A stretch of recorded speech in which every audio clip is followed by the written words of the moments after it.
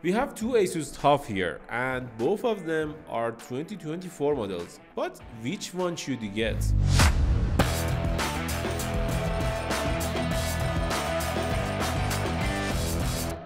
This Asus TUF right here is Asus TUF F15 2024 and it has Core i7 H CPU with RTX 4070 and the left one is Asus TUF F16 with Intel Core i7 HX processor and NVIDIA RTX 4060. But which one is more important, CPU or GPU? It may be easy for someone to say, oh, go for CPU or go for GPU, but it depends a lot on what you want to do with these laptops. And we should see how well they can perform in different applications. We reviewed both laptops in two different videos and I will link both videos in the description below so you can see the reviews individually for each laptop. In terms of body and chassis, um, F16 is a little beefier than um, F15 and it's a little thicker and heavier. Why? Because HX processors are a lot hotter and uh, they need better cooling compared to uh, normal H processors. So uh, Asus had to uh, make this laptop a little bigger and a little heavier to increase the cooling performance of the laptop. And uh, this is the only difference in terms of body and chassis design. And the display is different too. The F16 has a 16 inch 165 Hz screen at 300 nits almost and the F15 has a 15.6 inch display with 144 Hz refresh rate. Both of these screens supports 100% of sRGB and almost 70% of Adobe RGB which means they are good enough for everyone who wants to do their content creation workflows or even games. So let's get to the performance, the main part of this video. As I said, this laptop, I mean Asus TUF F16 has Intel Core i7-13650HX processor with RTX 4060 and it supports up to 64 gigabytes of RAM but this model right here has 32 gigabytes at 4800 megahertz speed. And on the right we have Asus TUF F15 uh, 2024 it has Intel 13620H CPU alongside RTX 4070 at 140 watts. Um, and also I should say uh, this laptop F16 supports up to uh, 64 gigabytes of RAM like the F16 but it supports um, higher clock speed for the RAM. It supports up to uh, 5600 megahertz speed uh, which is good enough but I don't know why uh, this mid-range CPU can handle up to 5600 megahertz speed but the high-end CPU can't this is Intel. Okay, let's get to the benchmarks. The F16 will be a lot better in CPU performance and the F15 will be a lot better in GPU performance. But how much better? Uh, we tested Cinebench R23 on, the, on both laptops and in the F16 we got more than 80,500 scores which is one of the best scores we've ever seen with this CPU, I mean 3650HX processor and on the F15 and we got almost 50,000 scores, more than 14,800 score, uh, which is good. Uh, it's good for the CPU, but it's a lot less than uh, F16 on the CPU benchmark. We also tested Cinebench 2024. In Cinebench 2024, uh, it was like uh, the same pattern as R23. We had almost 11,000 scores on the F16 and 900 scores on the F15 as you can see on this screen, the chart is based on multi-core scores and it's a lot better on the F16. It's around 10 to 15% better on the F16.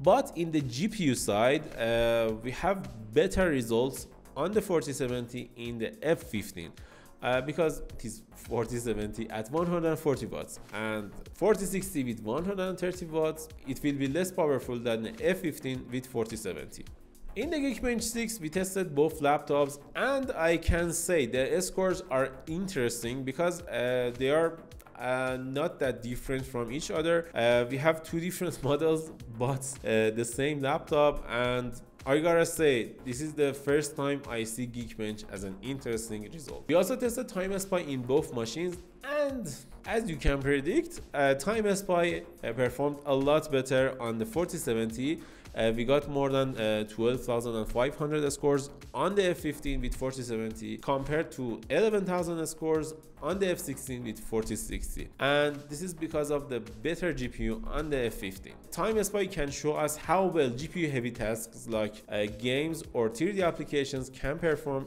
in the laptop and the winner here is F15. Uh, we also tested content creation workloads. This is interesting because uh, it's uh, almost a CPU intensive application uh, rather than a GPU heavy and uh, it depends a lot on the CPU performance and the RAM performance. And as you can see on the screen, both laptops perform great. Uh, in Adobe Premiere, they have the, almost the same score, 4 minutes and 42 on the F15 and 4 minutes and 41 on the F16. But in Adobe After Effects, the CPU matters a lot, especially the single core performance. And because of that, uh, our winner in Adobe After Effects is F16. We also tested some games in both laptops and in Cyberpunk 2077 we tested preset ray tracing ultra in both machines. In ray tracing ultra F15 performed a lot better than F16 with almost 10 to 15% even 20% better results and we also tested ray tracing ultra with frame generation and in this scenario too 4070 performed a lot better than 4060 on the f60 as you can see on the screen we also tested ultra preset on both machines. In this preset cyberpunk will uh, automatically turn on fsr and in this scenario too f15 with 4070 performed better. Uh, we also have uh, one uh, preset for ourselves amin mode uh, without any help from fsr ai dlss or anything else and in this uh, scenario too we got uh, better results on the 4070 with f15 i think it is obvious which one is better for games and uh, we also tested Rainbow Six Siege on both machines. In Rainbow Six Siege, we uh, tested uh, both laptops in ultra, high, and low preset. We got more than 10% better performance on the F15 because of 4070, which is obvious. But uh, one interesting result we have here is on the low preset because CPU matters a lot. In the low setting, um, the average FPS is almost the same in both laptops.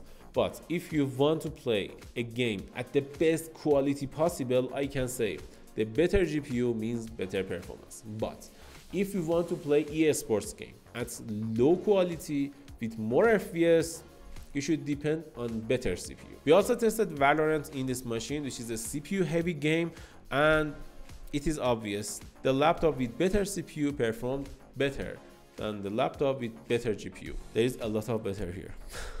and Apex Legends. Apex Legends is a GPU heavy game and as you can see on this screen, Apex Legends performed a lot better, almost 10 to 15% better in both scenarios on the Asus TUF F15, but on the low quality again, uh, we can see that F16 uh, catches up with F15 and because of that, as I said, if you want to play eSport titles at the best frame possible, the CPU matters a lot. Uh, we also tested Shadow of the Tomb Raider on the on the both machines, and as you can predict, both laptops performed well, but the better results belongs to F15 with 4070.